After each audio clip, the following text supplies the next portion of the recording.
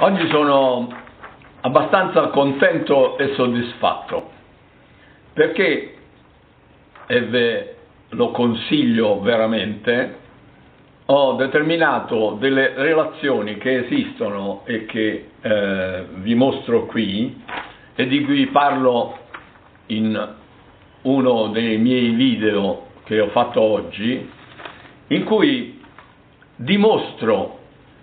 proprio esattamente, pensate, la relazione che esiste tra la velocità della luce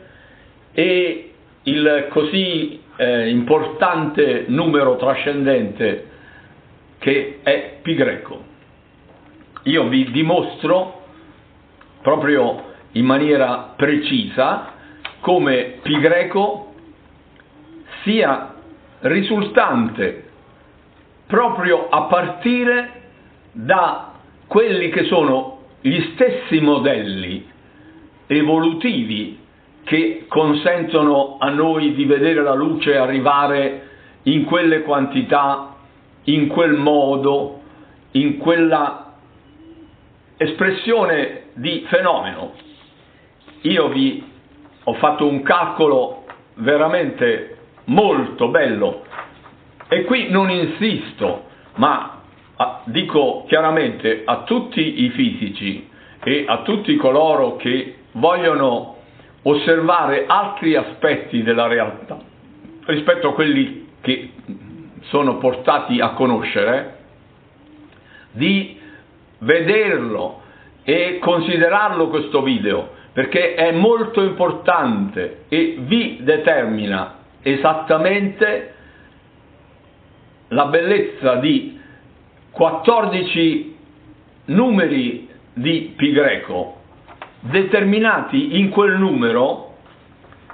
proprio dai cicli che esistono in natura. E esistono a tal punto poi in quel valore intero che io vi ho rappresentato nella luce come una serie di 1444,490 55 131 00 carrozzoni di un treno che avanza nel tempo di un secondo e che trascina in ciascuno di questi vagoncini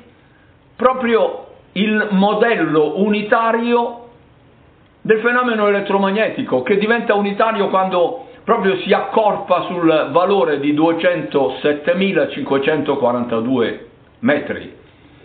E per una ragione assai semplice il fenomeno elettromagnetico rientra nel ciclo generale di 10 elevato a 10 considerato come valore assoluto di un'area composta da elettromagnetismo. E allora il lato, la lunghezza elettrica o magnetica è 10 elevato a 5 angstrom dentro un metro,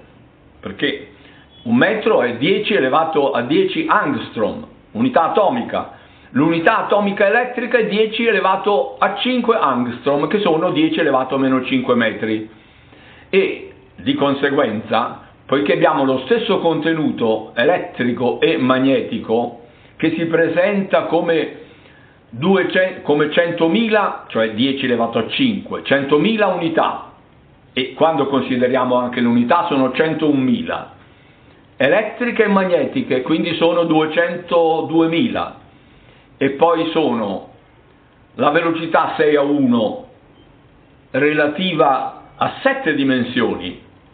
espresse dall'unità della massa che è 1000 quindi è 7000 e poi c'è la candela nella intensità unitaria di 540 metri, perché il ciclo a secondo che abbiamo qui non sono 10 elevato a 12 Hz, ma sono metri a secondo e quindi abbiamo 540 metri. Ora, 202.000 più 7.000 più 540 è uguale a 207.542 che è proprio il valore esatto che manca alla velocità della luce, ai metri veicolati della velocità della luce, per essere i 300 milioni di una dimensione pura, legata alle tre dimensioni dello spazio, che non sono tre, ma sono 300 milioni perché il metro è 300 milionesimo. E quindi quel 300 milioni di metri, 300 milionesimi, significa uno e di conseguenza noi abbiamo che questa unità, quando assume questo numero così grande in metri così piccoli, ne veicola per il quantitativo non di 300 milioni,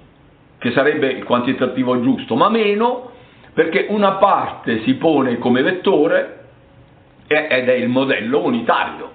Quel modello unitario di 207.542 e poi sono necessari 1444 errotti vagoncini, ognuno dei quali trascina questo valore unitario, per arrivare a essere un numero uguale a quei 299 milioni pari in metri. A questo punto avremo 299 milioni e 799 mila come metri e il valore inverso come quello che, mettendoci in relazione alla luce, dimensiona un metro, perché un metro da cosa è dato? Da un 299 milioni della luce. Ecco, vedete, si arriva a calcoli così precisi, così circostanziati e la bellezza è che essi portino proprio al valore tempo decimale che esiste in più in pi greco quando aggiunge questo tempo alle tre dimensioni dello spazio e diventa 3,14, 15, 96 e così via. Vi raccomando, se avete amore per la scienza di considerare quello che io vi ho scritto oggi, perché è di fondamentale importanza e di grande bellezza, non solo, ma anche di grande semplicità. Fatelo, ascoltate il mio consiglio, mettete un po' da parte una volta tanto quella puzza al naso che avete nei miei confronti e apritevi a uno spazio nuovo che esiste nella fisica quantistica nei modi con i quali la tratta la fisica amodea.